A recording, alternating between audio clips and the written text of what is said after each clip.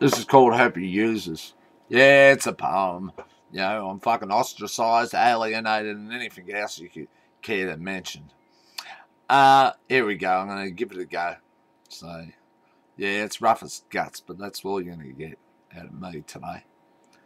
I lost my life in a house swallowed by cobwebs, dungeons in the mind, don't answer the phone. Wrong number every fucking time.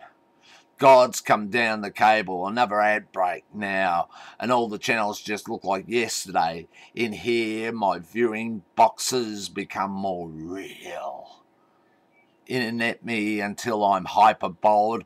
Just another disease on News 724. And the skies cry tires, yellow bottles, energized with neon signs. Press the button.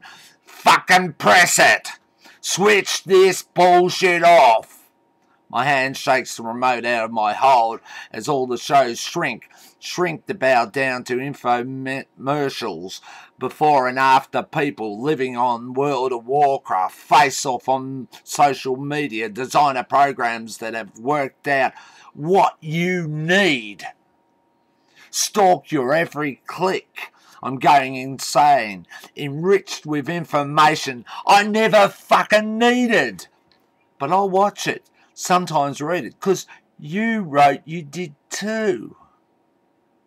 And we're all fucking liars now, so change the channel. Time to download another app that'll tell me how I feel. That's 2% true. And I'll say nothing, and so will you, because George Orwell's not watching. You'll find him on YouTube.